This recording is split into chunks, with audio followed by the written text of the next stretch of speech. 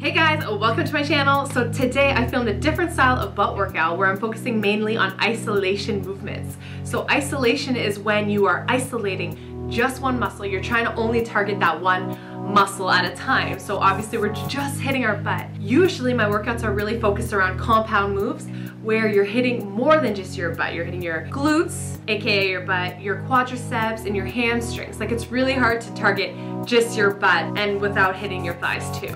But here I'm really focused on just hitting my glutes, waking up my glutes. A couple of these exercises will be firing your hamstrings as well but your glutes will be firing way harder. If you're finding you're having a really hard time feeling your butt on the bigger lifts like squats and deadlifts and lunges, if you're feeling mainly your thighs and not your butt, I'd really recommend doing this style of workout once a week to really get your butt used to just firing. So these are my current favorite isolation exercises. I um, didn't get super sore from this workout. I find when I do more isolation moves, I really feel it that day. Like I left the gym being like, yes, I felt I'm gonna feel sore tomorrow, but I usually don't. It's usually the bigger lift days that I get sore the next day or the next couple days.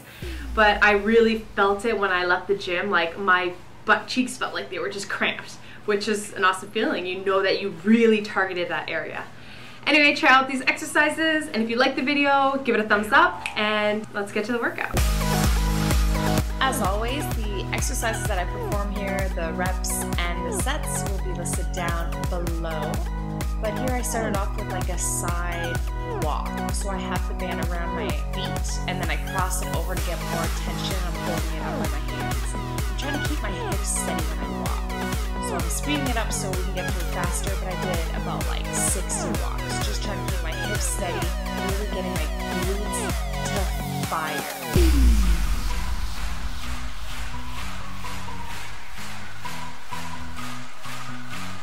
And then my second exercise were just these side leg lifts. I actually really like this exercise. I just put, you know, about a 30 pound dumbbell on my thigh and I go as high as I can. So here I'm almost getting like up by my hip and I'm just letting the weight kind of hang on my thigh. So I'm not like pulling it up with my hand, I'm just supporting it on my thigh. I'm still making sure to keep my core engaged because you don't want to like arch your back and really feel like any tension in your low back. You really just want to get your butt to fire. Even then your hips kind of go in a little bit, like to the left right there. I find that really activates uh, the glute that's on the ground.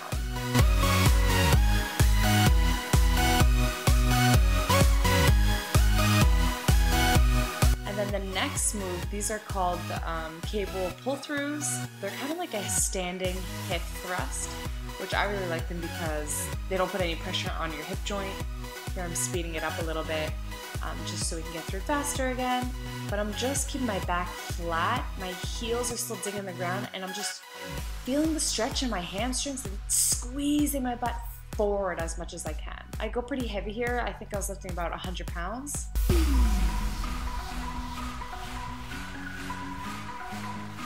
And then this is called the reverse hyper machine.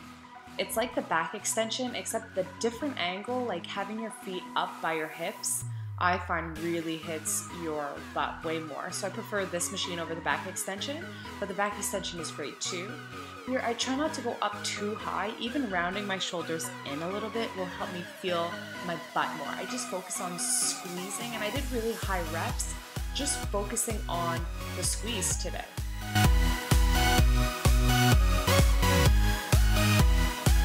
Lastly, I did two mat exercises. I always feel this one like so much. So pretty much I'm trying to keep my leg as straight as I can, but my butt was kind of burning, so my knee gets bent a little bit. I'm trying to reach across one foot and then come up by the side of my hip. So I'm just kind of waking up every part of my glute. So I do a high rep um, version of these. I find staying on my elbows actually helps really engage my glute here. So I'm trying to circle up as high as I can. So like you make a big arch circle.